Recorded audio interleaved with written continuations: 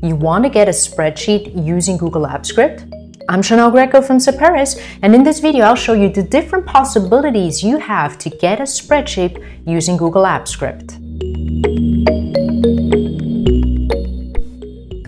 Getting a spreadsheet is often the very first step in a Google Apps Script code. You'll notice that depending on the script, there are different ways to get an active spreadsheet or to access the active sheet. For starters, we need to understand the exact difference between spreadsheet and sheet because I know these words sometimes get used interchangeably, but they're actually referencing two very distinct things in Google Sheets. So, first up is spreadsheet. This is our spreadsheet, the entire document with our different sheets. And that's the cue to what sheets are. This is sheet, and I've given, I'm purposely given the name of the first, and this is the second, and this would be another sheet. We could call this demo or whatever. So spreadsheet versus sheet.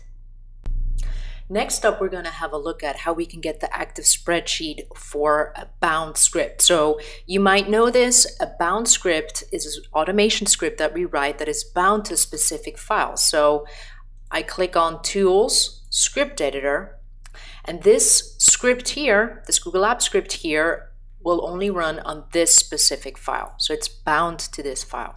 So the two different possibilities I have are get active and get active spreadsheet. Let me just go ahead and demonstrate this. So get spreadsheet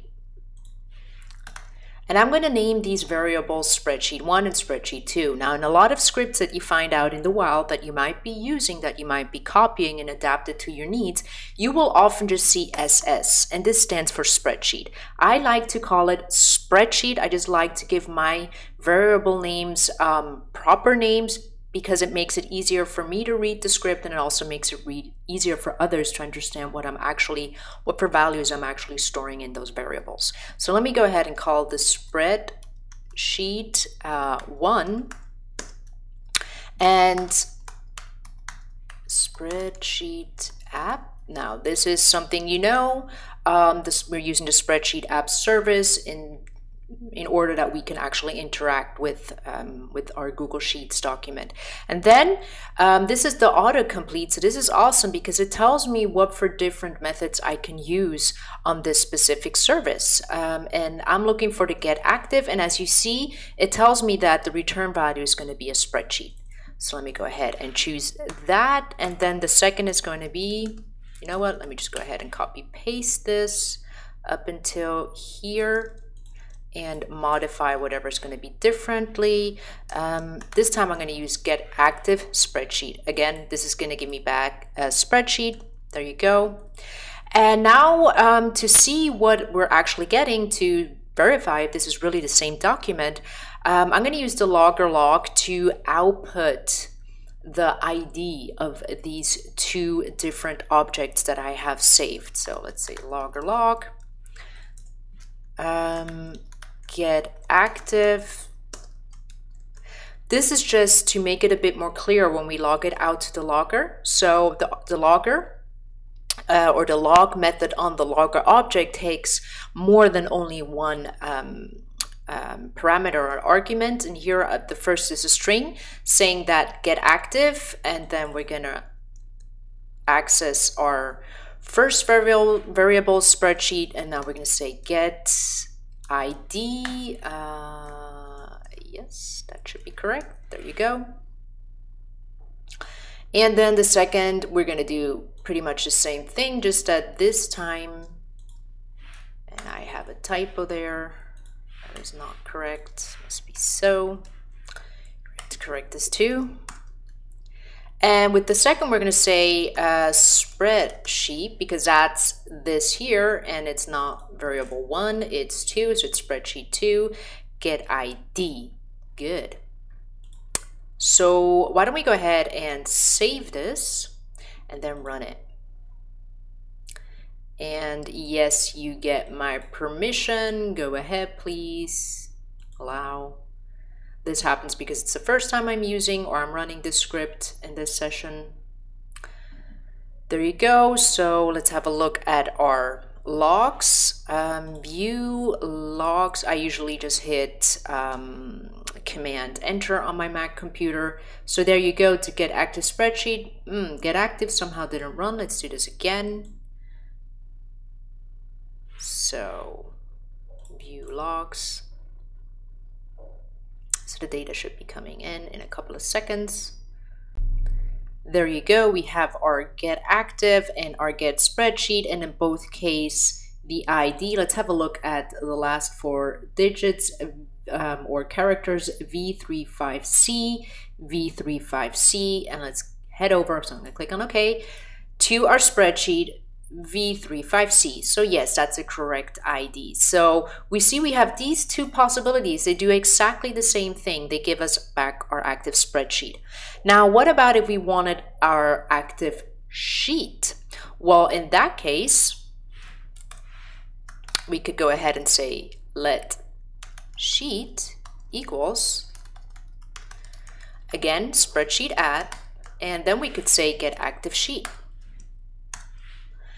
And let's log this out, but the problem is here we cannot um, log out the ID of the spreadsheet because we're directly referencing the sheet. So we have a different object here.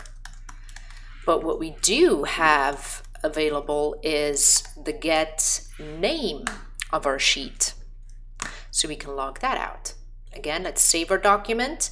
Let's go ahead and run this and this time around, we should get a third line, which, yes, get active sheet. Here you go, the first. And let me just say okay and go back to our document here at the bottom, the first. That is the active sheet that is active in the user interface at the moment.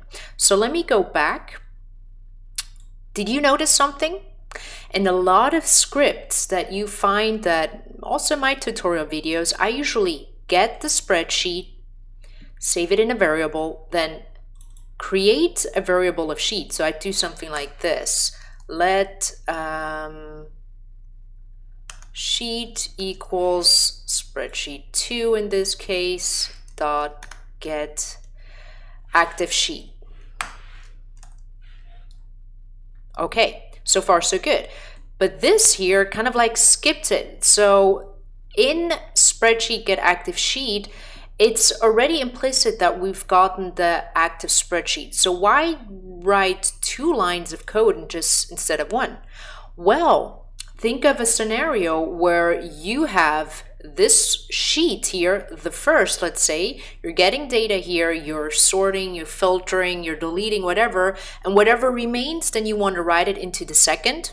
Well, then it's no good if you simply just have access to this, the first sheet. Instead, you need access to the whole spreadsheet and then um, separately go and access the sheets and get data from it and write it to another sheet. So that's why it sometimes makes sense to split this into two separate steps, have two separate variables, so the spreadsheet in one and the active sheet in another. And sometimes it makes sense to directly go ahead and just get that active sheet because you don't need access to the spreadsheet, any other methods on the spreadsheet object, but instead you only need access to the methods on the specific sheet.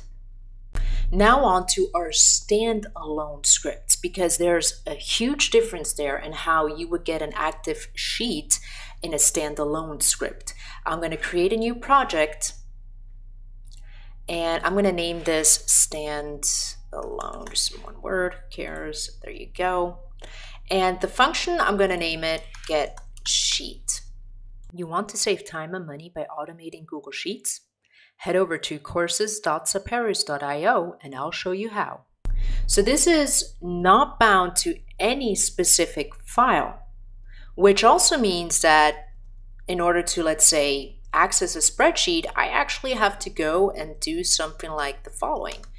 Let spreadsheet equals then our spreadsheet app dot, and now I'm going to open a file, let's say by ID. Let's go and get our same ID over here. Where is it? Up here in our URL. Let's copy that. Wrong one. Here you go.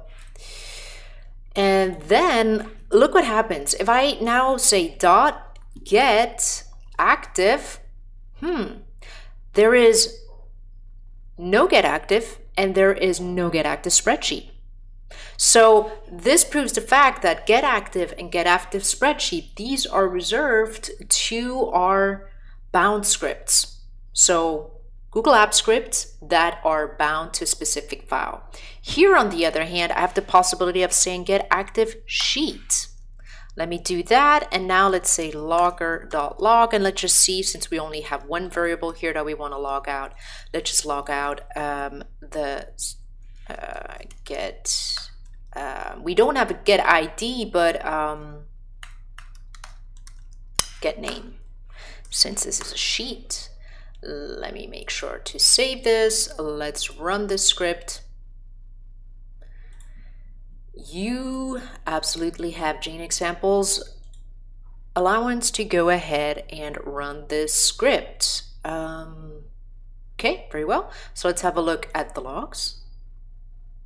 The first, okay? So this is a standalone um, script code that we created. And what we did is we, we said, okay, spreadsheet app service, go ahead and open the spreadsheet of this ID and then give me the active sheet. So with active sheet, um, I doesn't mean that it's the sheet is, is active in the sense that it's actually open in my browser and I have my cursor on this sheet. Uh, because this is happening on the ser- this is happening on the server side. So on the server, um, this spreadsheet is being opened and then we're executing the get active sheet method on it and that gives me the possibility of getting the name so i this for me is verifying that it was able to access the correct sheet and it gave me back this the name so the first down here while you're on YouTube, why don't you go ahead and check out my other video tutorials about Google Apps Script?